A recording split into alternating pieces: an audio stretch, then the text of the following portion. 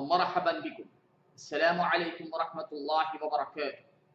في هذا الفيديو فإني إن شاء الله أبين عن الطرق المعمولة في تربية الخروف والكبش. وفعلا فكم من طرق مختارة في تربية الخروف؟ هناك ثلاثة طرق.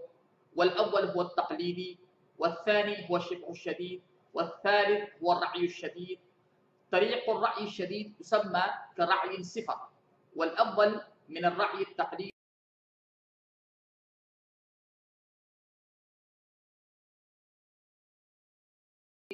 يعمل به من قبل كافة الأنبياء والمرسلين صلوات الله عليهم أجمعين. ولذلك فإن هذه المهنة هي مهنة الأشراف وهو الطريق الشرقي.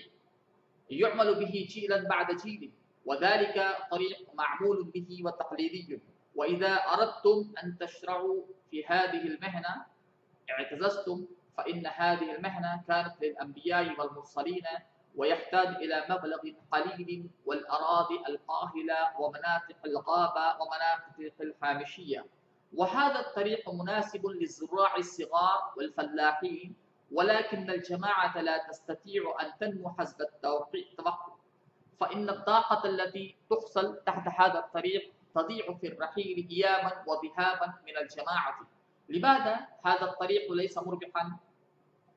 لأن المخاطر العليا ونسبة الهلاك العالية بسبب قلة الإدارة العلمية ومخاطر الحيوانات غير الأليفية والسارقين كثيرة في الظاهر وعدم توفر الأعلاف الخضراء كل الوقت وقلة الأعلاف الخضراء بسبب تخفيض آراض الرعي وآراض الغابة هي علة من العلل.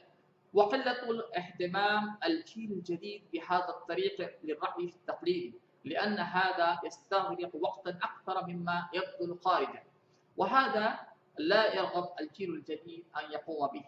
وماذا نفعل في مثل هذه الظروف؟ والأول هو طريق الرعي ويجب أن يبجل والطرق العلمية والطرق الجديدة الابتكارية يجب أن نختارها في الجزء الثاني. وأنا أبينه ما يتعلق بالطريق العلمي المعمول في كافة العالم.